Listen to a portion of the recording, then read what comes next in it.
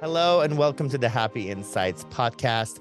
Today's episode is going to be about meditation. I'm really excited to have a wonderful guest on the show who's going to unravel the concept and really make it simple for you to understand. I couldn't have asked for a better guest for this particular conversation. He wrote a book called Three Minutes a Day, a 14 week course to learn meditation and transform your life. I have Richard Dixey, PhD, on the show today. He's a senior faculty member of Dharma College in Berkeley, California, a research scientist and a lifelong student of Buddhism who holds advanced degrees in biophysics and the history and philosophy of science. He moved to the US in 2007 to devote himself to teaching meditation, deepening his own practice, and running the Light of Buddha Dharma Foundation in India. Welcome to the show, Richard. Thank you. Uh, thank you so much for doing this because everybody talks about how important it is to meditate, yet no one does it. They're so afraid of the idea of being silent. So, uh, why did you decide to write the three minutes a day? More or less precisely for the reason you just said. Um, you know, meditation's a basic life skill. It really it's a basic life skill. Honestly, meditation should be taught along with reading and writing in fifth grade. It's like that. And the truth is that we make our world. It's all very well to, to talk about the quote external world, the universe, or whatever, but everything we experience, everything comes through one of six gates the five senses or the gate of the mind. We have no possibility of experiencing anything outside those five or six ways of experiencing. But we but the way we experience is not something we're taught. And if, if we don't understand it in a very deep way, we don't understand our lives. Meditation is a way of directly engaging what happens when sensations arrive at any one of those six gates. That's what it's about. And it's a basic life skill. And unfortunately, our educational system is entirely external facing and talks about inferential categories, scientific categories, cultural categories, whatever, which are all inferred from things that arrive at our sense gate. But no one talks about what happens before we infer these things, what experience actually is. And that's what meditation is designed to address. What is the sixth gate? I got the five. Oh, the gate of the five. mind. So it's okay. So there's the five senses, which we already know, and the sixth one is the gate of the mind. So mind and emotions, feelings, imaginations, etc. So you've got sensations that come to you, and you've got auditory. You say you've got visual, auditory, etc., and then you've got the gate of the mind, and these are all impinging upon us, and they do so actually in sequence, not necessarily together, but nonetheless, the way they impinge and the effect they have on us is not something that we ever are taught. So, as a result, people often become very reactive, like something annoys them and they're immediately reactive and they don't know why. Why is that reactivity occurring? Is there any way of controlling it? And indeed, nowadays, with modern technology, particularly phones and computer algorithms designed to capture our attention, we land up being pulled this way and that by all kinds of stuff getting more and more irritated and more and more stressed. And again, without any capacity to control it. This is all a complete failure to understand perception. And perception is the direct object of meditation. That's what meditation is designed to understand. So it's a basic life skill. That's it. And you talked about meditation works on the before the, the sense of yeah. the before. So can you explain that a little bit? Yeah, sure. Actually, you know, this book of mine I wrote actually starts off with a really amazingly interesting thing. There's a movie on the internet, and it was shot in a quadrangle in a in a in a southern college, I think in Georgia, I think it was. And it's a it's a security camera. And there's this guy, it's pouring with rain, and there's this guy under an umbrella, right? And he's running across the, the, the quadrangle. He's taking about two steps a second as he goes. And then there's a lightning flag. Now, lightning lands about four feet from him. And you can see the lightning on the video. Actually, you can see the spike of lightning going into the ground. This guy takes another whole step, half a second before he reacts. Then he doubles over and, you know, oh, I've been hit by lightning and runs off. But in that half second between the lightning flash and our reaction to it is the whole world. That's where we make the world. Now, most of us don't realize we're half a second behind events. And that's because there are very carefully designed timing mechanisms in our perception to give us the impression we're in the here and now. But we actually are not in the here and now at all. We're half a second behind it. It's about 400 milliseconds, technically, four tenths of a second. And in that four tenths of a second, all this processing goes on to make me in the world. But actually, me in the world is a processed product. It's not actuality. Actuality happened 400 milliseconds before that. Now, we do have the capacity to introspect this process. And it's that introspection, that ability to see me in the world being made, that enables us to overcome in a very profound way our reactivity and take control of our attention because our attention is grabbed, as I was mentioning. There are all of these adverts, advertisers, clever things that grab us. And as a result, we feel pulled this way and that, and everything's exhausting. And this is because we don't have control at this fundamental level of our lives.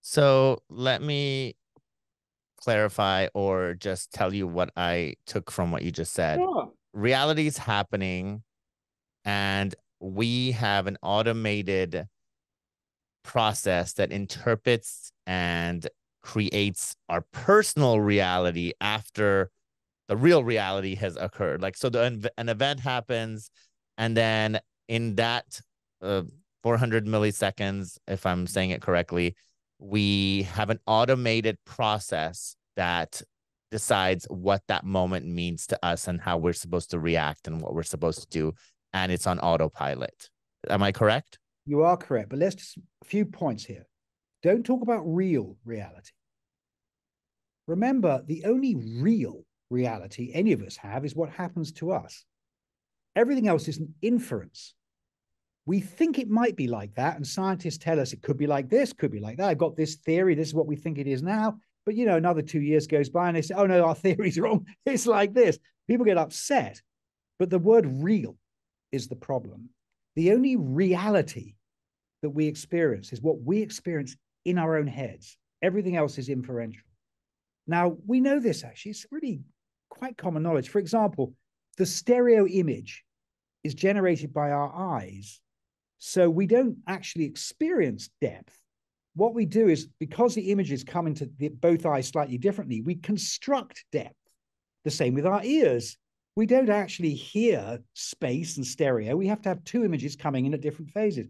The same with our body image. Our body image is not what we see, it's actually made by sense receptors inside our body, which we're completely unaware of.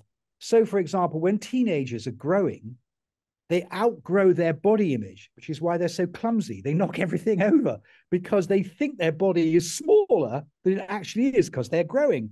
And so there are eh, myriad examples. But of course, the fundamental one is me in the world. Now, me, who am I? What's my character? What's my background? What do I like? What do I don't like? What do I want? What do I not want? All of that stuff, that's all equally constructed. We could be anything. But the way we've been brought up has produced for us a set of ideas which we apply to our lives. And it can make us happy, it can make us sad. Indeed, Google understands you so well because it sees what you do that it can predict what you want. Therefore, it advertises to you. And so we land up being grabbed by what appears to be very personal information. But actually, what it is, is it's designed to capture our pre existing processing that's happening all the time. And it is automated in as much as it's reactive, but it's actually constructed in a very real sense too. And once you become aware of it, you can start to get control at a very fundamental level of your life. And that means that as a meditator, you get calmer, you get kinder, you get less hassled, and you get less exhausted by what is otherwise a relentless process of being pulled this way and that. You called it reflexive reactivity, which I take means that you're reacting without really having any control over it, which is what reactivity means. So once you get control of how you react, you basically get control of your life a lot more and your mood and your state of being and and all of that. Correct? Exactly. Well, the way it normally works, people say, "Oh, you've got to be kinder, you've got to be nicer, you've got to, you know." So you try and apply antidotes. So you get angry and you say, "No, I mustn't be angry." The trouble is, if you get angry or get sad or get jealous or whatever it is, already the emotional consequences of that state of mind are in play. Your body is already being infected, your environment's being affected. Maybe you've done something you regret. So applying antidotes is too late. What you really should be doing is seeing the arising emotion and stopping it before it manifests. You can only do that if you meditate. Otherwise, you have no possibility because it's reflexive. And so, unless you can gain insight into that reflexivity, the action's already occurred before you can control it. And this is why that's why meditation de-stresses our lives. That's why we find ourselves feeling calmer and more able to deal with problems. And is three minutes a day enough? Well, okay. So now we get into the next level of demystification. So meditation traditions are very ancient. They go all the way back two and a half thousand years at least. And they were normally developed for monks. And so the traditional meditation techniques normally involve sitting for hours. Now, of course, sitting for hours is great if you can do it. But from in modernity in contemporary culture, it's really not practical. What is important and what can be achieved is a very focused approach. If you understand the physiology of what's happening in our experience, you can do very short exercises which are very precisely designed. Some of them are absolutely traditional, by the way, but not all of them. And they're precisely designed to give experience. Once we get the idea that we can see our own experience, we can see it arising. Once you get a taste for that, then suddenly a whole world of exploration opens up. Now, of course, you know, nowadays psychedelics are very fashionable and people have all kinds of insights when they change their perceptive perceptual field with chemical means. And as if you could only bring those insights back and embed them in your life, they would be extremely valuable. The problem is you can't. They're outside your normal experience. So normally your normal experience reasserts itself relatively quickly. And as a result, there's no permanent change. Another example is extreme sports. There's been a great fashion for bungee jumping and, you know, jumping off in the, those uh, skydiving outfits, having extreme experiences. Again, the reason is because extreme experiences overwhelm our ability to make sense of experience. And just for a moment, we're free. And then gradually normality reasserts itself. So there, there are plenty of examples in modernity of the wish to get free of reflexive reactivity, but you actually need a technique that you can stably develop. Now, the interesting thing about techniques is even very short periods, if done sequentially, build up. There's an old saying water cuts through stone, not by cutting hard, by cutting often. And the, the technique in this book is really simple three minutes a day, but every day for 14 weeks. And if you just three minutes a day, just every day, if you just do three minutes a day, every it doesn't matter where or when you can do it in your workplace, you can do it at home. It doesn't you have to sit down in a special position. Very simple, but do it every day. And what will happen is over the over a period of weeks, you will build up a capacity like dripping water, just gradually builds up. And what you land with at the end of it, and this is the whole idea of the book, is a real insight into meditative development, the beginning of the completion of a life well lived. My view is without meditation, life is somewhat enigmatic. Many biographers say this. They say they get to the end of their very successful life and they go, What was it all about? what happened? And the reason is because they never ever understood what they were constructing at the level of construction.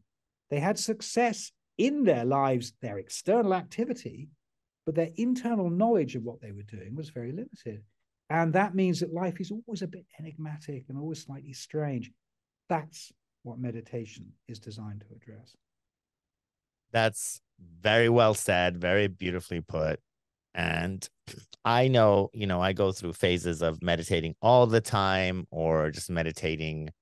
I sometimes I can do it for an hour, an hour and a half, and sometimes I can't do it for two minutes. Yeah, yeah. So I really just want to speak to people that have a hard time starting up because, you know, I talk about it in my new book that's not released yet that meditations like exercise everyone knows they're supposed to do it but it's you know something that almost you have to do it. You have to start small and then work your way up and and it's one of those things where you know you're supposed to do it you know the benefits you know how amazing it would be if you did it but most people go through their lives saying oh yes i'll do it one day and till or, or until something happens in their lives and they're forced to do it but i think starting with three minutes a day which when I teach meditation, I start with one minute a day and I build up because I think you're ahead of me. one minute is so like just getting someone to sit down for one minute is so much work. So I wanted to first talk about a couple of different types of uh, states or uh, there's shamatha and vipassana, and I wanted you to give me a brief um, yeah sure. of those. So what is shamatha? Okay, so all meditation has two phases. The first phase is calm down. It's called shamatha. Now, the metaphor is a bit like you have a water full of dust. And if you're reacting reflexively all the time, the dust is being stirred up and the water's all turbulent. So the first technique is just to calm. Now, that's normally done by focusing on one of the six sense gates. It doesn't really matter which one, but most initial meditation techniques involve taking one of the gates and focusing on it. And what that does is calm down. Now, the second phase is called vipassana. Now, vipassana literally means see clearly. And the idea is if you leave a glass of turbulent water on a, on a table and let it, let it alone, the dust will settle, the water will clear, and you will see clearly. So, vipassana is a fruit of calming down. Without shamatha, vipassana is not possible because you're too reactively churned up. And you know, all meditation techniques fall into these two camps. There's been in modernity a habit of calling all meditation vipassana. I think in many ways that's unfortunate because what it does is conflate two quite different things. Shamatha is about calming down, vipassana is about seeing clearly. Oh, Although one leads to the other, they're not the same at all. And vipassana involves really understanding how we make the world. You could say standing under, very interesting word, understanding, standing under how we make the world. How can you do that? You can only do that if you're not reacting to how you make the world. If you're reacting to how you make the world, you're never going to stand under it. You're just going to be reacting. So you have to have shamatha. It's not it's not negotiable. But shamatha is very easily developed. Now, the important development in developing shamatha is to recognize that there are two elements to concentration. So, shamatha always involves taking a meditation object and concentrating on it. And indeed, all of us, again, in contemporary culture, have been told to concentrate. Modern educational systems are obsessed by concentration. Concentrate, you know, this idea of always a concentrate. Now, concentration actually has two parts. The first part is to advert. It means literally to focus on. That's the first part. The second part of concentration is significantly different. It's to savor. So you turn your attention to something and then you experience it. Now, advertising is designed to capture our concentration, to take us somewhere. That's the adverting part of it. Now, that's inherently nervous, brittle. I like to call it brittle because when something else comes along and captures our attention, we find ourselves being pulled off what we were originally on to something else. And most people who begin to tr- attempt to meditate find that they are being pulled this way and that by things that are capturing their attention. Now, the key to overcoming this obstacle is to learn to savor. Now, once you savor something, I mean, example, you lift a cup of coffee to your lips, that's advertising. You taste the coffee, that's savoring. Now, savoring is inherently stable because what happens when you savor is if something else comes along, it just gets incorporated into your savoring. So your savoring isn't disturbed by having other things capturing your attention. So the early part of this course actually is about making that distinction experientially. Now, this is the important thing. There's no point in talking about meditation if one is not going to experience it. So, what I've tried to do in this book is to give really simple exercises that are totally explained. And the idea is you don't do them if you don't understand them. But if you do do them, what will happen is you'll get an experiential, your own experience base for the difference between adverting and savoring. And once you've developed the ability to savor, then you become non reactive because all the things that upset you just become part of your savored experience. That is the beginning of truly becoming calm. Calmness is not about putting up a brick wall around yourself, closing off all your senses, and sitting in darkness. That isn't calmness. Calmness is actually about being able to engage with anything, but not be disturbed. Something quite different. And so, again, people often feel, oh, I need to have no thoughts. The whole idea of meditation is to sit with no thoughts. It's absolute nonsense. Honestly, where this idea has come from, I have no idea. It is nonsensical. There will always be thoughts. There are always clouds in the sky, birds in the sky, and thoughts in your head. They are. The key is don't be disturbed by them. That's the key. And if you can achieve that, you achieve imperturbability. That's the proper term. And your calmness becomes a base to see clearly, which is really what we all want to do. What the hell is life about? I want to see it clearly. That's the idea, right? The reason I resonate with that is because I have nothing against meditation retreats and going because I think they do escalate or or yeah, I'm not sorry, they they speed up your process oh, sometimes. Oh. Yeah. Um, and you are able to get from point A to point B a lot faster. But a lot of times people go on retreats to decompress and then they come back to their world and it's just like they left it and they need another vacation again and I always tell people, so I always make sure that when I meditate, I meditate in the midst of my chaos. Yeah. Because that's what I think is the most valuable for me, unless I do want to sharpen a new skill or just, you know, I, I did a four day silent retreat in my room. I turned all the lights off. I made sure that I slept a lot and I was, you know, I was, I could, I like meditating laying down, but you have to sleep so much that you don't fall asleep. So, because otherwise, if you're laying down, you pass out and you're not meditating, you're just sleeping. So, I did four days of it. And after that, like certain specific abilities were so much elevated. I could have, I basically, I, I gained new psychic abilities that I never had before. But then I went back into regular life. And of course, that sense of calm went away. But when I needed that superpower, it was there. But it I appreciate the three day, minutes a day concept a lot more because it's more up my alley. Because it really does allow you to be able to snap into that state of calm when you're in craziness. Because even in my book, I have these moments where I say, uh, I teach people how to. I say I, I call it I call it a pause moment where I I have them read something and I say now pause and then they have to count to 10 and then they have to start reading again.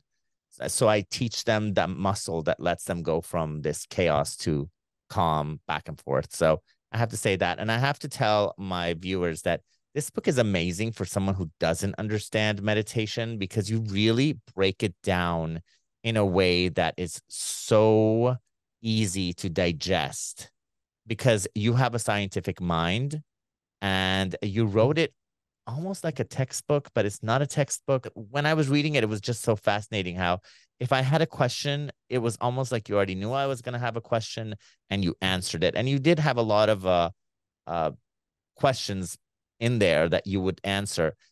And one of my favorite things that I saw in your book was the five obstacles, because I think that's a really important thing to cover in this episode. Because a lot of people sit down to meditate, and there are things and sensations that they feel that prevents them from having the experience or continuing on, or they get restless and they just want to stop. So I thought the five obstacles were things to address. If you don't mind talking about those in this episode, I think it would be very beneficial to the viewers. It's super interesting how ancient understandings of mind are still totally relevant. The, the five obstacles, the five nivaranas, are 2,500 years old, and they are still absolutely relevant today. Just like if you were to read Marcus Aurelius, the Roman emperor of 150 AD, feels like a modern guy. That's because psychologically, we are not developing. We may be developing physically, we may be developing more understanding about the physical world, but psychologically, we're not developing. Now, the five nivaranas are really interesting. These are five obstacles that come up every time we try to calm down from our normal state of reflexive reactivity, what we've talked about, this frenetic reflexivity. So as we try to calm down, five types of obstacles appear. They're in two pairs and a single one. The first pair is literally agitation and dullness. Now, what often happens is when you begin to meditate, the first thing that happens is you see all this agitation going on. You see, wow, is this really going on all the time? Yes, it is. All that's happening is you're seeing it. Now, often what happens when you try to calm from there is you go to sleep. So you immediately go to sleep because actually you're so exhausted that your agitation just goes straight into dullness. And so this pair of agitation and dullness are going to be with us until we learn to savor and we recover our energy. As you say, like if you meditate lying down, you've got to sleep a lot before you just go to sleep. But in the end, you'll be able to do it. Those are the first pair. The second pair are attraction and aversion. Now, many of our thoughts are about what we want or what we want to avoid. In fact, thinking is mainly scenario planning of one form or another. I got to get that. I go, how do I get that? Or, oh, I've got to not do that. I'm going to avoid, wow, I wish I didn't do that. This pair of aversion and attraction are the second pair, very big feature on of the thinking mechanism within which we are embedded. And the fifth, and probably the most important, is doubt. Now, doubt is a really interesting obstacle. Now, doubt arises because the reflexive structure we have built through our childhood, our education, our parental inputs, our life experiences has created a life for us. Its primary function is to keep us alive, keep us going. So meditation is deeply disturbing to this functionality because it's basically saying, I want to have a look. Now, doubt says, don't look. No, no, you're perfectly fine. Yeah, you really don't have to do this. Don't look, don't look. Just don't, leave it alone. And it comes up in many, many different ways. Like, how can three minutes possibly work? Is a classic one. Will come up here. Like, you can't be serious. Three minutes, nothing. And the doubts are the voice of rationality saying, don't bother. You're fine as you are. Now, we all know we're not fine as we are. But from the point of view of this reflexivity, we are because we're still alive, which is really what it's trying to do. Just keep us alive. Keep us so alive. it's fine as far as it's concerned. So that's the fifth. And these five obstacles happen to everybody all the time until they overcome them by becoming calm and have happened to everybody for at least 2,500 years. So it's kind of interesting. So, how do we deal with these disruptive thoughts during meditation? I know there's the three R's you mentioned. Is yeah, that there are. Yeah, well, it's a bit like judo, really. Um, the problem with thoughts, thoughts aren't a problem. It's our reactivity that's the problem. Thoughts end. So, why are they a problem? I mean, why should thoughts be so irritating? They're not. What irritates us is what they make us react to. So the thought itself is not an irritant. It's our reaction to it that's the irritant. It grabs us, adverts us. So as we gradually become less reactive, so thoughts become less problematic. Now, there are techniques to calm them down, a bit like judo. And one of the best techniques of all is to think deliberately and then stop. Now, one of the problems with thoughts is they're kind of sneaky. They sneak up in the background. You, you kind of don't see where they start. And then when they got going, they're irritating you. One of the ways to actually make thoughts less invasive is to really think deliberately for 30 seconds and then stop. Now, we normally don't think deliberately like that. It's very interesting when you do it. If you actually deliberately set out to think, think about everything, you know, think about what you're doing, count stuff, really make an effort, and then stop, you're going to find, oh, and then thought will pop up, oh, okay, fine, no problem. You've kind of exhausted the thinking for a little bit. And then when thoughts do pop up, you can see them popping up. And suddenly you realize that the thoughts themselves are not the problem. Now, there's all kinds of issues here because another element of contemporary education is blame. So we're told you've got to do well. And if you don't do well, you've got to fix it. Now, the problem with fixing it is in meditation, fixing it is reflexive. What we actually have to do is a not doing, really. It's not a fixing at all because we're trying to become calm. Remember, once the water is clear, you see clearly. You don't have to see clearly. You do see clearly. Seeing clearly is a natural faculty of mind. The problem is the turbulence of the water. So, in doing it, quote, wrong, we learn to smile, go back to what we're doing, be calm, don't worry, nothing wrong, just for three minutes. And is overcoming that ingrained self critical faculty that so many of us have. Oh, I'm doing this wrong. I should be doing it different. I, you know, what's wrong with why can't I meditate well? Or even worse, I am meditating well. That's really good. All this dialogue is ultimately destructive of a very simple skill, which is just being non reactive, having no commentary. You're not meditating well. You're not meditating badly. You're just being calm. And this is the thing it's learning this middle point between praise and blame. And once we get there, we then allow, we then find it deepens and deepens and deepens and deepens. It's amazing. When you find the middle point, oh my gosh, down it goes. And suddenly you're calm and the commentary has stopped. So this is the problem. Many, many people have learned about meditation. Meditation was very, very fashionable.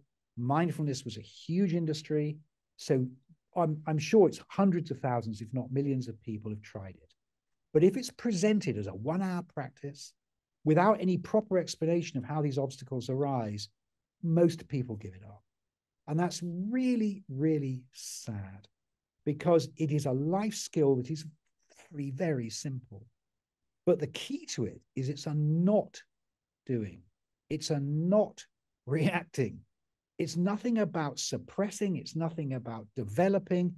It's all about being non, not just settling. Now, it's intensely relaxing when you find it. When you actually find that capacity, you suddenly find, wow, I have a choice. I don't have to react at all. I have a choice.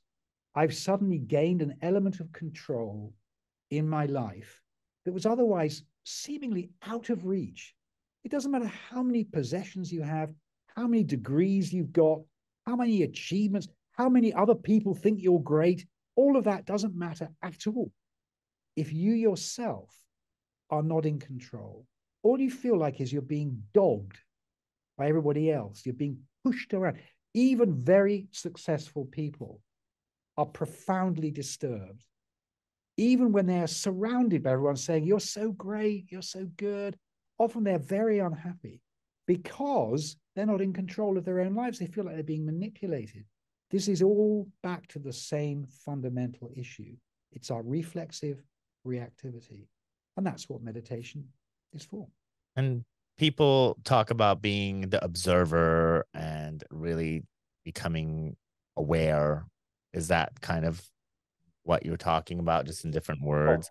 Oh. No, I'm not really. Uh, this is a, a another misconception. We're not attempting to abide in calmness as if we're in a little box and there and we're, we're not reacting because that is itself a state of tension really that idea of abiding of, of finding a calm place and living there as a watcher is actually a total misunderstanding of shamatha shamatha is about engaging openly with experience in a calm manner so actually shamatha is about engagement calm engagement not calm disengagement. Got it.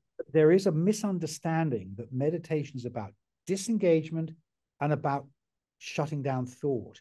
When actually, what meditation is about is learning how in activity we can find calmness. And for example, I utterly agree with you. Meditate in your workplace, meditate in the mess of your life. That's where it matters. If people have these shrines and beautiful things, sit down and do their meditation, then they get up Actually, it's when they get up it matters. The shrine itself is a nice object, but what really matters is getting up. And so often you hear people who say, Oh, I meditate eight hours a day. Oh, I, I, I feel a bit stressed. I meditate 12 hours. You say, Come on, guys, what about living? When are you ever going to take your meditation off your cushion into your life?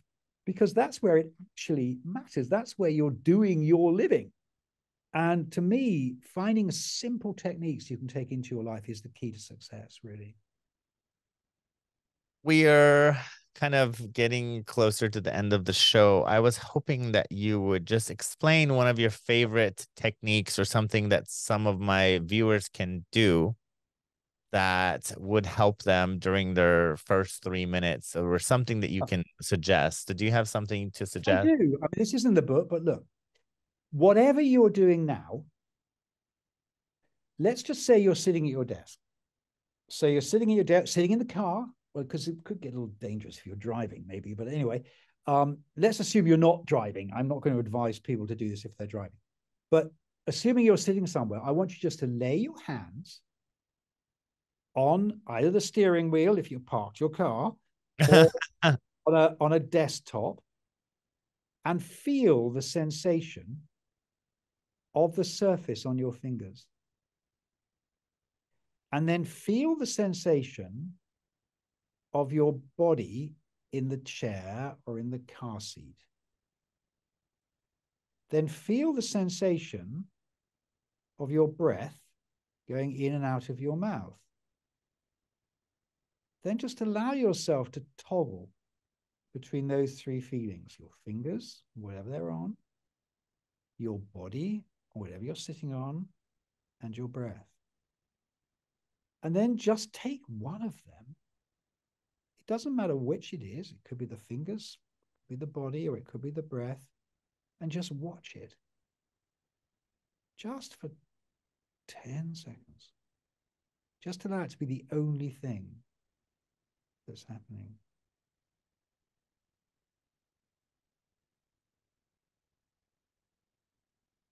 and then stop.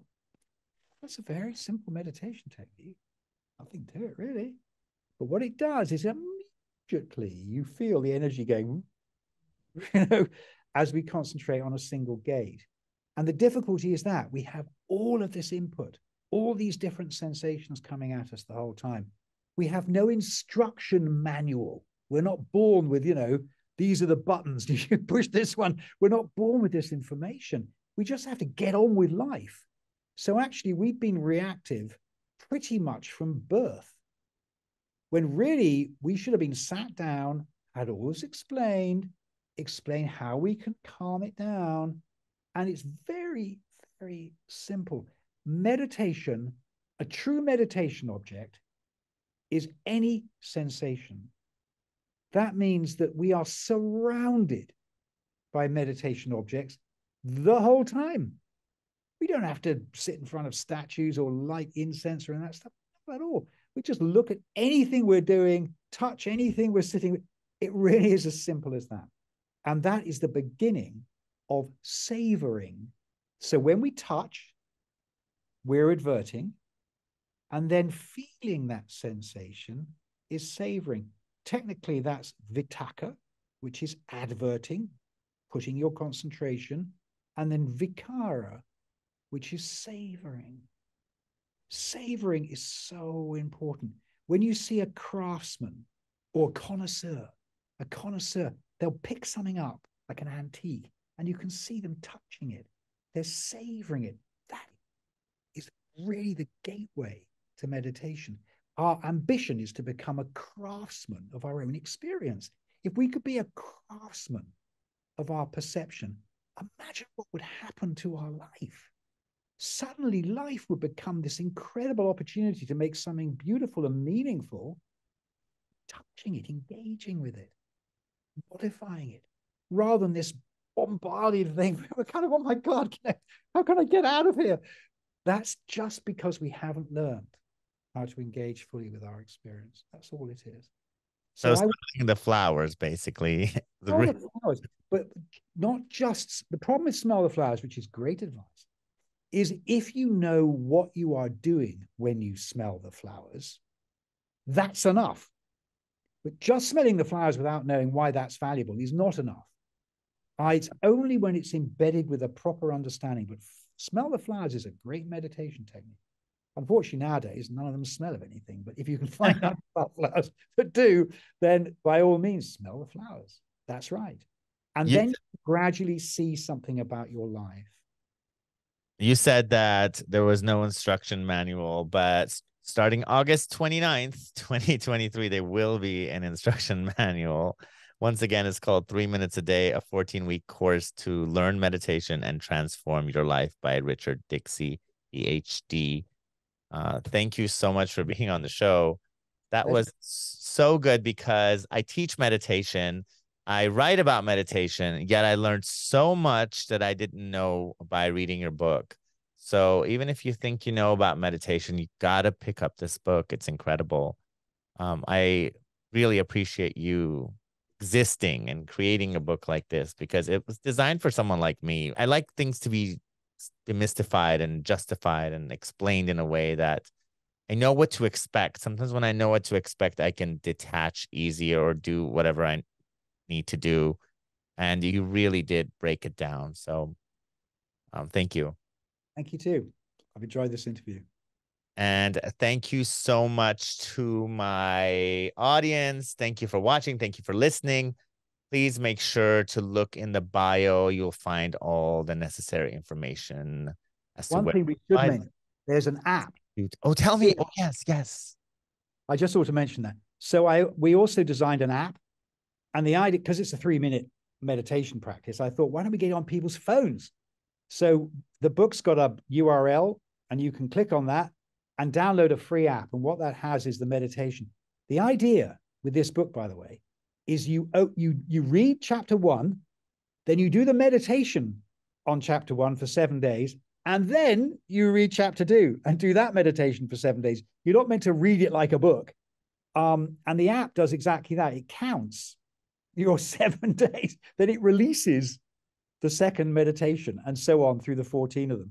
Um, and so the app is really quite helpful again to refresh your memory as to what the meditation is. Well, they're very, very simple, but anyway, and also to give you something you can carry around with you during your day.